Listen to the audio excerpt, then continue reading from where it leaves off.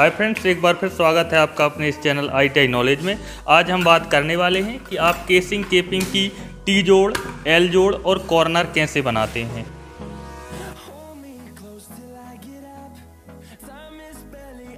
सर्वप्रथम आपको देखना है कि जो आपने केसिंग केपिंग ली है, उसकी जो मोटाई और चौड़ाई कितनी है। तो हम सर्वप्रथम देखेंगे ये तीन इंच चौड़ी है। इसके बाद हम देखेंगे कि यह कितनी मोटाई की है तो हम देखेंगे कि यह डेढ़ इंच मोटी है।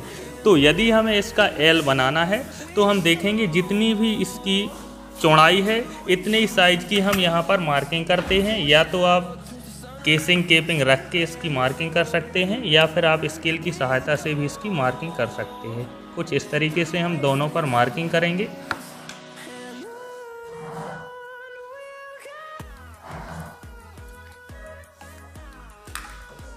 कुछ इस तरीके से। फिर हम इन दोनों के कॉर्नर को इस तरीके से एक्रॉस में निशान लगाएँगे।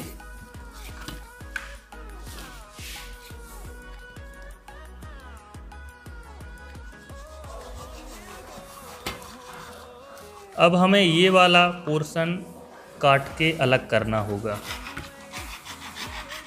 अब हम इस वाले पोर्शन को काट कर अलग करते हैं। इस तरीके से हम दोनों के कॉर्नर आपस में काट देंगे तो हमारा इस तरीके से एल जॉइंट बनकर तैयार हो जाएगा। इसे अब हम देखेंगे कॉर्नर को हम किस तरीके से बनाते हैं।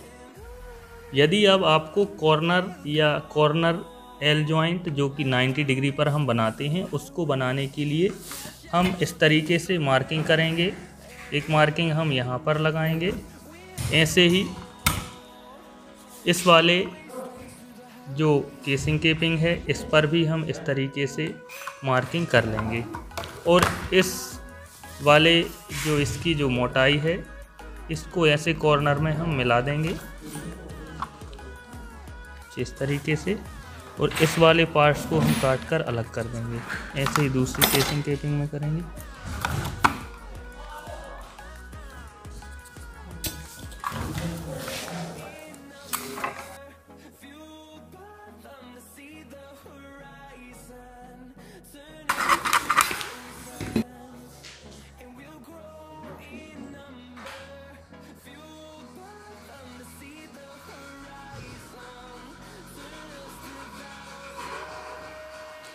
अब हम टी जॉइंट बनाने की प्रैक्टिस करेंगे।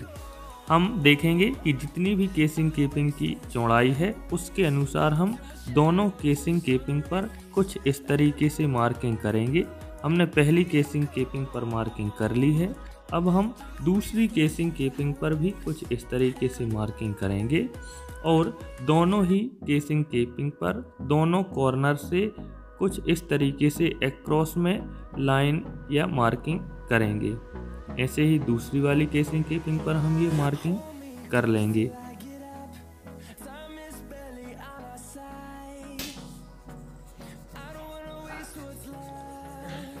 अब इस वाले भाग को हमें काट कर बाहर निकालना होगा। ऐसे ही दूसरी वाली केसिंग केपिंग के इस वाले भाग को हम काट कर बाहर निकाल देंगे। अब हमारा टी ज्वाइंट बनकर तैयार हो जाएगा कुछ इस तरीके से। इस तरीके से आपका टी ज्वाइंट अच्छी तरीके से बन जाएगा।